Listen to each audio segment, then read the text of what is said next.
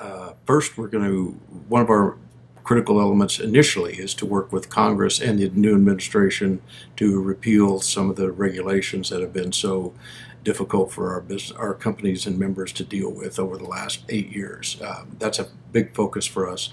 The first one will be this methane uh, waste rule that we uh, actually are working with Congress right now on to be repealed by the Congressional Review Act. So that's that's one.